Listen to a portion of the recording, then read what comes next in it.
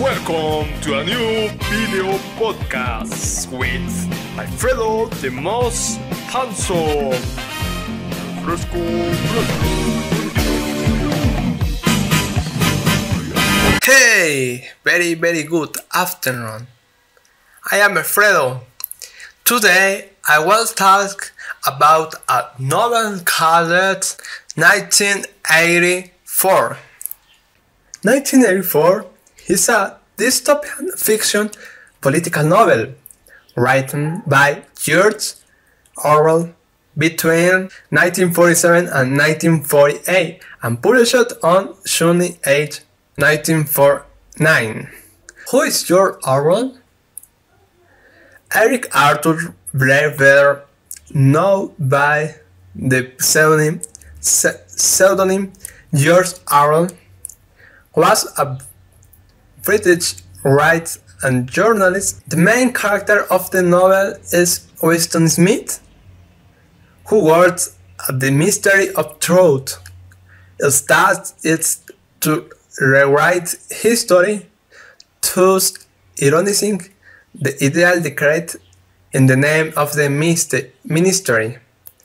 After years working for side ministry, Winston Smith is becoming aware that the reduction of the history in which his work consists are only part of the great fears on which his government is based. And he discovers the intentional falsehood of all information from the single party his awareness to inhibit the omnipresent violence of Big Brother he finds the love, ha, the love, of, of a young rebel named Julia. Also, disillusioned with the political system, but the embody and resistance of two against a society that watches over itself.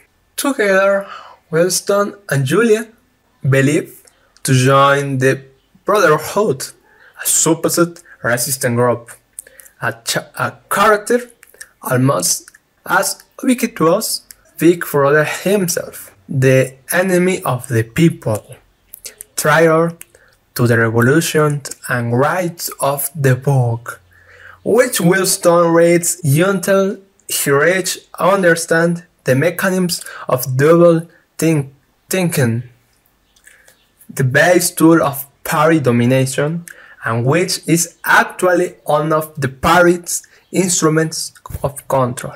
Through an integral history of terms like inventions, language, psychology, and inventions aimed at the physical and mental control of an individual's the totalitarian education of youth, and so on.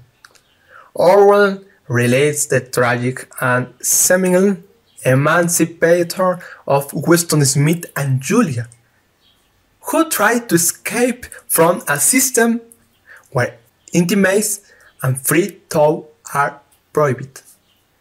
Upon discovering that the highlight members of the resistance were as part of the repressive mechanisms. The protagonists are locked up by the town police and subject to torture in the ministry, ministry of love. Winston is forced to recognize that and obviously false statement has 2 plus 2 equally 5 is actually 3. Her strength surprise tortures in Rome 101, but it is a just part of the alienate nightmare. Winston ends after long and human months internally accepting that the truth is what the party say and not what his intellectual deduce. deduce. Overhand what his sense perceive. In the hand, Winston meets Julie, who has us been tortured, but both are unable to keep any sense of closeness in their midst and they separate like two strangers. It is then indicate that the purpose of the single Perry had been fulfilled because, in fact, the love between Weston and Julia has dissipated, re replaced by love for Big Brother, the only affectionate feeling tolerated by the regime. However, the only thing Weston knew was that it would disappear overnight with, without leaving a trace or any acquaintance having any evidence of having exited. He also knew that his dad would be like being the only thing he was certain of in all of history. You can see the similarity with today.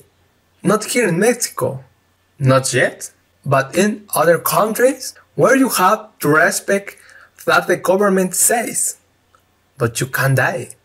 Although a small example in this country is or was the massacre of Tlatelolco in 1968 because the president Gustavo Díaz Ordaz got tired of the protest and wanted to control the students in this way. Another example is the 43 in Ayotzinapa, who say it was the government. It is not confirmed, but the rumor may be true. I read the book with a nine pounds. From my point of view, because politics and relationship with citizens and classified and mandatory.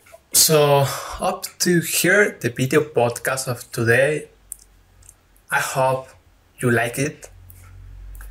Bye.